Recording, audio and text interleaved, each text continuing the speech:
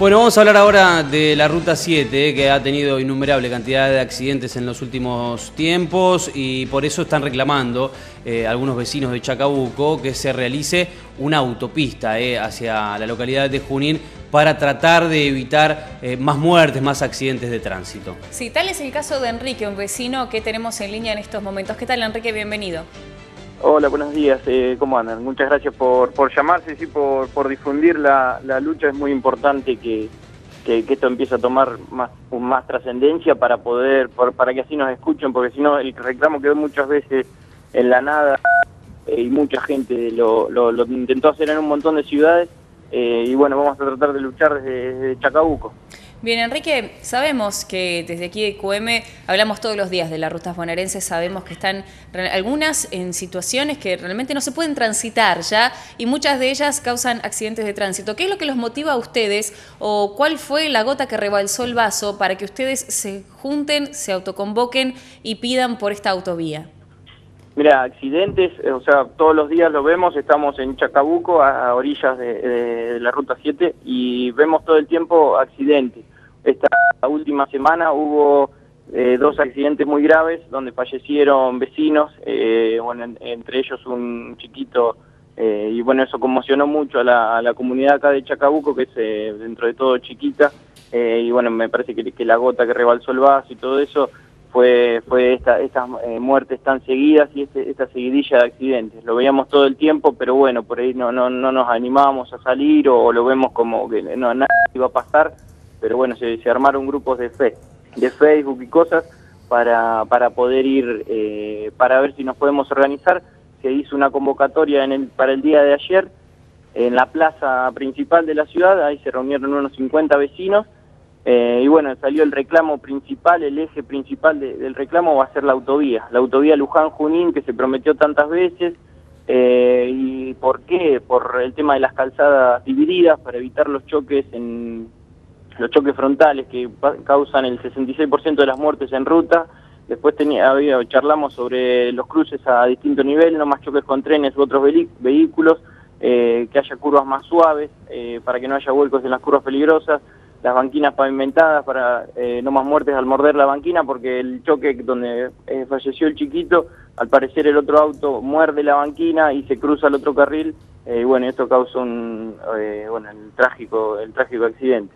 Ahora, bueno, el Enrique... en general el más grande, el eje del reclamo va a ser la autovía Luján-Junín y después se estuvo hablando también de, de educación, más educación vial, de más controles, un montón de cosas y también actividades que vamos a tener que hacer ahí a la, a la vera de la ruta seguramente para, para ir dando visibilidad a esto y, y, tratar de, que nos escuchen, de que los representantes políticos, que los encargados de, de, solucionar los problemas a los ciudadanos eh, nos, nos empiecen a escuchar porque realmente nos están dejando olvidados en este momento y se están matando hermanos, argentinos, primos, tíos.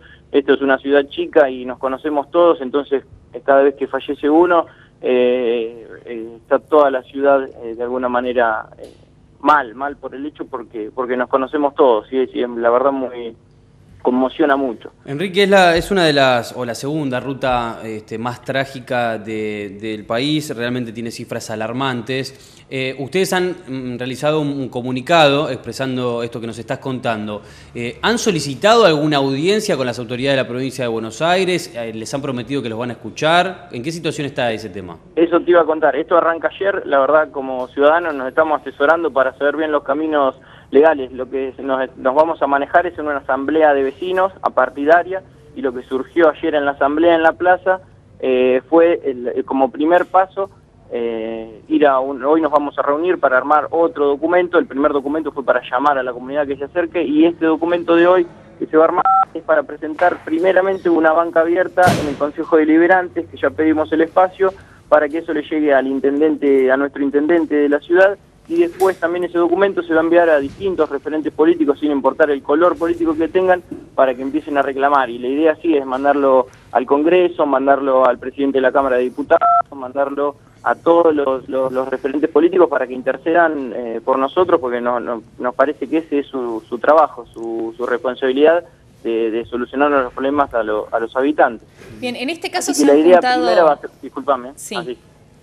Eh, no, la idea primera va a ser la banca abierta y después, eh, con ese mismo documento, ir transmitiéndolo y elevando el reclamo a, todos los lugares que, nos podamos, que podamos llegar para, para que se escuche. Bien, eh, te preguntaba Enrique, en este caso se han juntado en Chacabuco, pero la autovía va a unir dos ciudades importantes, Luján y Junín. ¿Han tenido también en la, eh, la convocatoria a gente de, esto, de estas ciudades? Sí, eh, yo ya estuve hablando con gente de Junín y también de Bedia. Ellos van a tratar de movilizar personas en, en, las ciudades, pero bueno, entendemos también que es difícil y todo lograrlo porque muchas veces no se, no se animan. En Junín hubo una, una movida muy grande, se juntaron unas 2.000 personas después hubo problemas y, cosas, se, fue por el desgaste mismo que de, al no por ahí ver eh, hechos concretos, soluciones, eh, la gente misma se va desgastando porque son, eh, son todas las personas de laburo, personas que tienen su, su vida también y, están reclamando, pero, pero cuesta mucho también estar ahí, también hubo problemas, bueno, creo que judiciales, en junio le iniciaron causas a, a, a los que iniciaban la, la, la el corte, la protesta, sería una cosa así. Eh, y bueno, eso también a un ciudadano común es como a un mundo nuevo y muy, difícil de, llevar adelante. Pero bueno, sí, la idea es charlar con, con todas las ciudades que están a la vera de la Ruta 7 para, para sumar el, grito, para sumar el, pedido, el reclamo. Ustedes están pidiendo una autopista o una autovía de Luján a Junín y recién remarcabas que eh, no es un reclamo de ahora, que incluso que se ha tratado este tema de, convertir esta ruta en una autopista. Sí, exactamente. se habla, me contaba mi viejo eh, ayer que hace ya como 30, 40 años que, se viene hablando de la autovía, que, que se van diciendo, por ahí sacan, eh, no sé si eh, por, campañas políticas y cosas, eh, sacan que, se viene y que la van a hacer. El problema, lo que yo estuve, estuvimos investigando fue el tema de, por un lado, el presupuesto 2013 que la tenía y por otro lado, más importante, la, en un momento la declaran de interés público. En 2007, en Junín, la visitó Néstor Kirchner y Julio Devido, que era ministro de Planificación en ese momento, y ellos habían dicho que, que se iba a hacer la autovía Luján-Junín eh, y después eh, por 2008, 2009, no, en 2010 la, dijeron que no iba a ser más autovía Luján-Junín, sino que iba a ser eh, autovía Luján, San Andrés de Giles y después iban a hacer un ensanchamiento de la ruta en lo que quedaba, desde San Andrés de Giles a Junín. Ese ensanchamiento, bueno, por ese ensanchamiento creemos que, bueno las banquinas están en construcción y, están causando accidentes y realmente no es suficiente. Se necesitan dos carriles de cada lado para, para evitar los choques frontales. ¿No hay un tramo que está en construcción, Enrique? Eh, acá creo que se, se terminó en, en el, tramo que, llega hasta Chacabuco. El problema es que las banquinas, al parecer, en algunos lugares, están no están eh, al mismo nivel que, que la ruta. Entonces muchas veces cuando el auto baja la rueda ahí y trata de volver, eh, causa, causa los choques. No, seguro. Seguro. Eh, el, problema sería, no sé si eh, dejar las banquinas parejas con la ruta sería también. hay como hay diferencia en, el, en, el, en la altura. Sí. No sé si me explico. Sí, sí, sí, está claro, está claro. Bueno, Enrique, te agradecemos mucho este contacto con QM Noticias. Por supuesto que les deseamos todo el éxito y nosotros también vamos a seguir difundiendo este problema para que efectivamente se pueda realizar la autovía. Muchas gracias. Exacto, gracias a ustedes. El laburo es importantísimo el de ustedes porque sin la, visibilidad de esto, la verdad que no, no se llega a ningún lado. No, no, no, no nos escuchan y no han escuchado los reclamos anteriores. Hoy, hoy le tocó a Chacabuco, pero ya lo ya lo hicieron eh, Luján, Junín, Mercedes, un montón de ciudades que, estuvimos viendo ahí en, noticias periodísticas.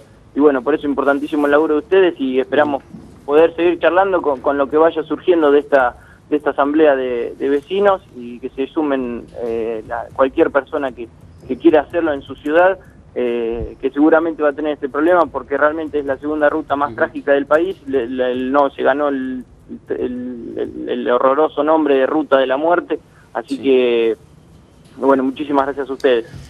Gracias, Enrique Chilano, vecino entonces de Chacabuco. Están pidiendo la autovía Luján-Junín, Juan.